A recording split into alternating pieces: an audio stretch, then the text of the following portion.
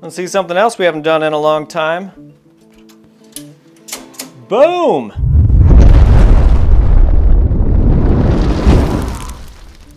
Good morning everybody and welcome to the channel. So in today's video we're going to be starting a new series. It's going to be the next Powerwall build and it's going to be Powerwall 2.0. I know everybody says that but that's technically what it's going to be. And pretty much the only thing we're going to be doing today is probably taking down and removing the old Powerwall system.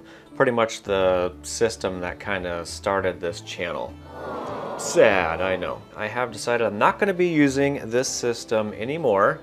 Uh, again, I didn't have any problems with it. However, there's always a potential for problems with lithium ion. I guess the biggest reason for me removing it and not using it is because I have all this stuff in my house. In the summertime, it can get over 100 degrees Fahrenheit, and in the wintertime, it can be I don't know, 20, 30 below zero. I don't have a shed or anything like that to put all this stuff in. I'm not gonna build one and insulate it and you know, do that whole thing. Um, I'm just gonna keep everything right here in my basement. So if there was a problem with the lithium ion cells, I really don't have a good way to put that out and I really don't wanna lose my house. That's the main reason why we're gonna be removing the 18650s and switching over to lithium iron phosphate. As you all know, lithium iron phosphate cells are are really damn safe. I've actually punctured not these particular cells, but other lithium iron phosphate cells, and they just kind of release a little bit of smoke, which isn't good for you. So if there was a problem ever, I would rather have that than a full-blown fire. Okay, anyway, the new batteries are gonna be the lithium iron phosphate cells that I bought from Alibaba pretty much a year and a half ago that I haven't done anything with. All right, so in today's video, it's gonna be video one. The only thing we're really gonna be doing is tearing down the old system. We're basically gonna be disconnecting the batteries and then probably disassembling the control panels. It's kind of huge and in the way. Need all that stuff out so we can put all the new stuff in. But before we do that, we could take a look at the Batrium screen here real quick. Again, I haven't used these batteries in a couple of months because I've been testing out that Rhino battery from Big Battery. Hopefully you can see this all on the screen, but anyway, the cells are sitting at 3.68 and 3.72. 56.5 state of charge, and the voltage is 51.78. I'm going to go back on grid real quick because I don't know how much sun we're actually going to get.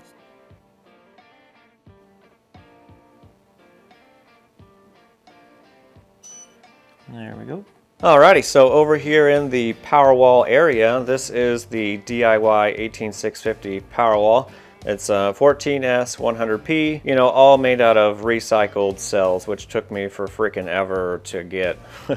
this thing literally took me forever to build just because it took me so long to find batteries. Anyway, this is going to be the system that we're going to be removing. And we're also going to remove this little tower, control panel tower that I built. Mainly, I had the Batrium on that top screen. The two PCM 60Xs were just sitting there waiting to be used. I never actually used them because I've got all my solar connected to the Growatt inverter. And then all of this right here, I had all of my solar and stuff on there. Right below that is my shunt trip breaker.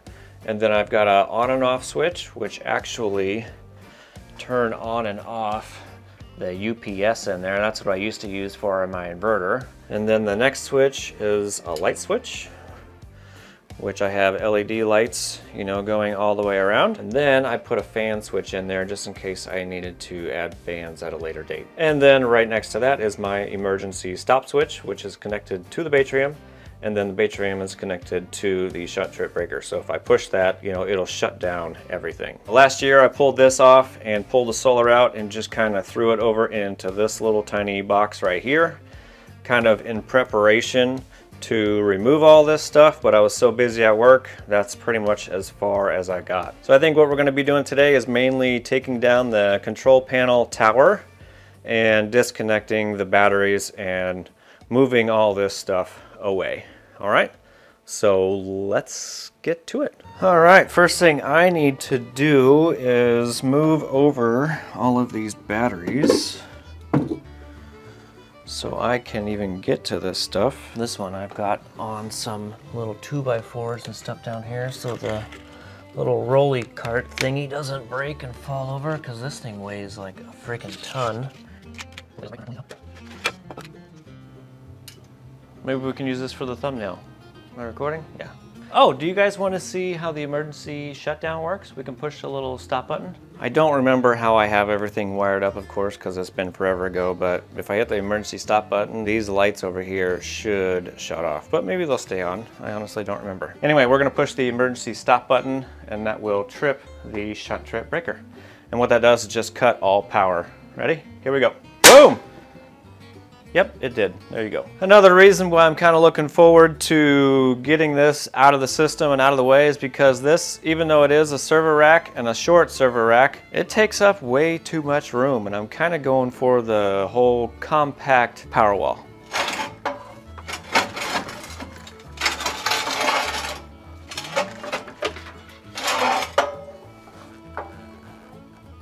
Yep. This is a portable power wall if you guys want to wear.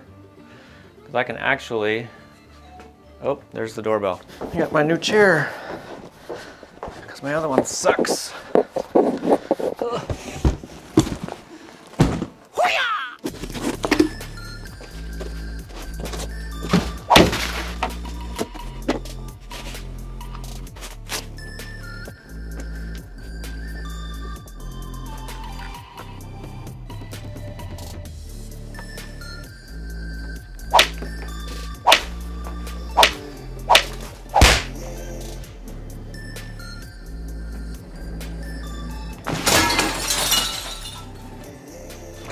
New ergo chair. Now I can sit.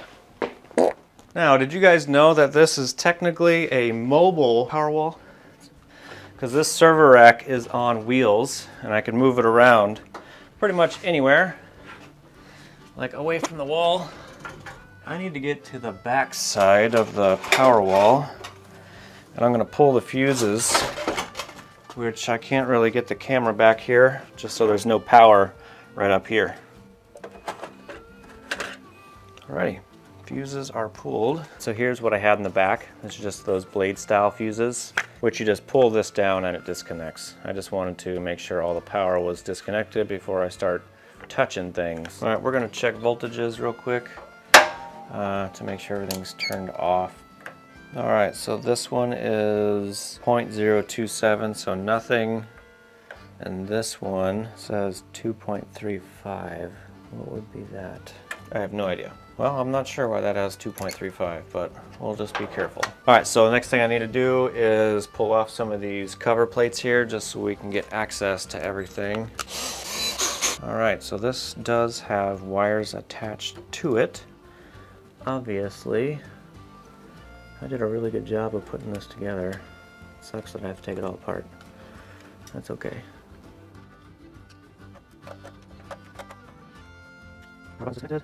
Alrighty, now we have all the switches disconnected. So from here, we're gonna go ahead and disconnect all of these main lugs from the bus bars and from the shunt trip breaker.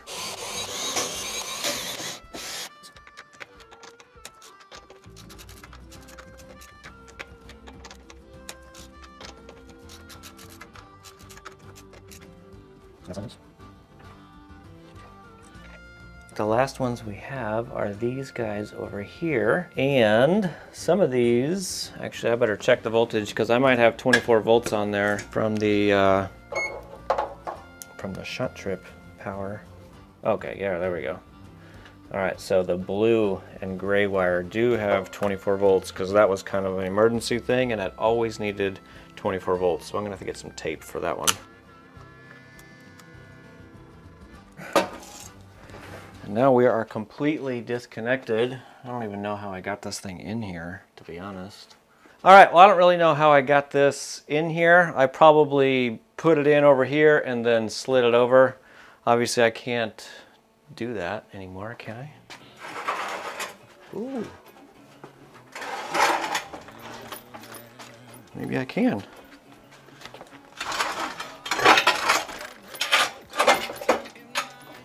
just need you to go around the stairs. There we go, I got it. Uh-oh. What am I caught on? Alright, oh, that almost fell off. That would have been bad.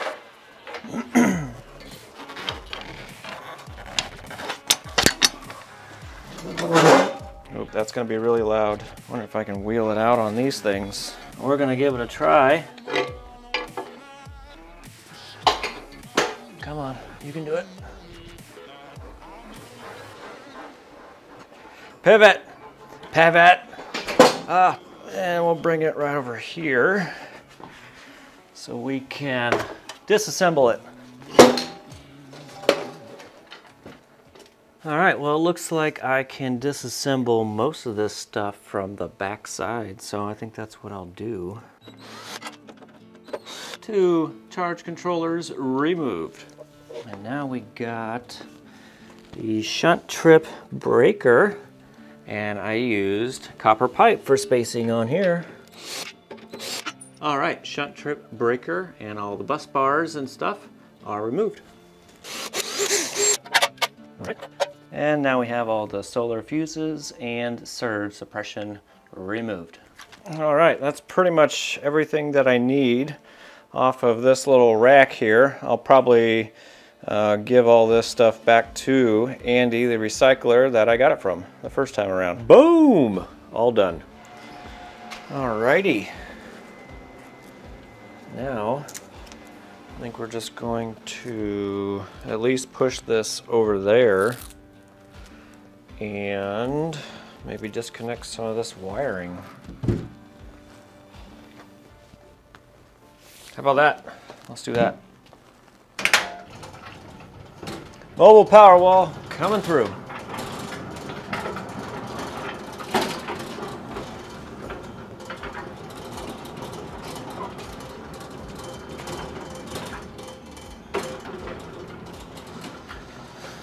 Gosh, I do remember messing with this all the time. I mean, look at this. Boom! Look how clean that looks. And I'm gonna get rid of it, or at least tear it apart. Ah, the old Smart UPS 3000 XL. Good times. Let me turn it around. Look at all that cleanness. Clean! And I'm going to take it all apart. So yeah, that's where the fuses were that I took apart earlier. So basically I'm going to disassemble all this stuff up here since I don't need it there anymore. Some of this stuff will be used in the new stuff like the Batrium. All these guys might be used. Some of the bus bars and stuff like that. I don't know. I guess we'll find out here shortly. All right, so right here is my 24 volt connection for the shunt trip. I'll go ahead and disconnect that so we don't have power up there anywhere. I lost the fuse. Do have to disconnect the Batrium power real quick. I'm gonna go ahead and do that. Where are you at? You're right here. All right, so Batrium is disconnected. I don't wanna blow that up again.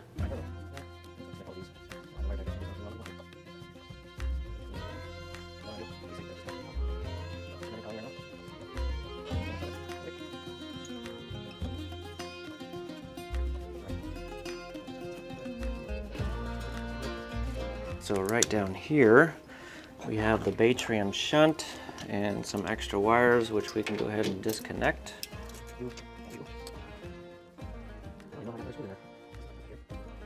Shove all these wires down here, over there. And since we're back here, I'm gonna go ahead and just disconnect each battery pack from each other. And, and then we'll close it and we'll flip it around.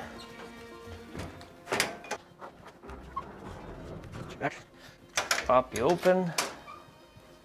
Alrighty, down here we have the Batrium and all the wires and stuff. I'm gonna go ahead and just disconnect him.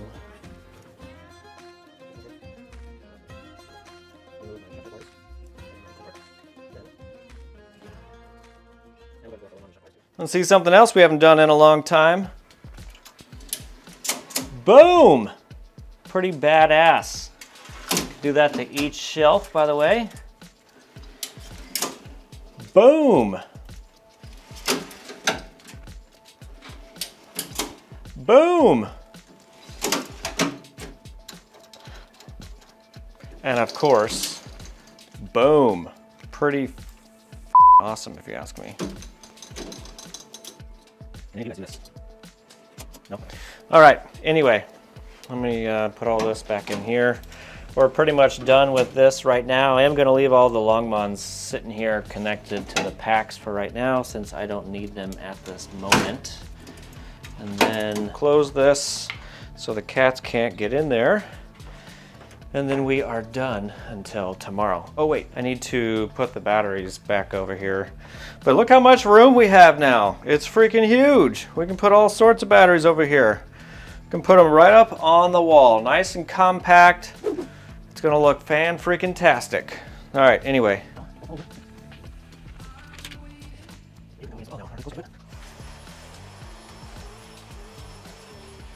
And then we can put this guy right over here. About that? That'll that'll work for now. Alrighty, that's going to do it. I think we're looking good. We got a ton of room in here to work with now. Everything's gonna be nice and compact, which I think actually I'm gonna move this big battery later on.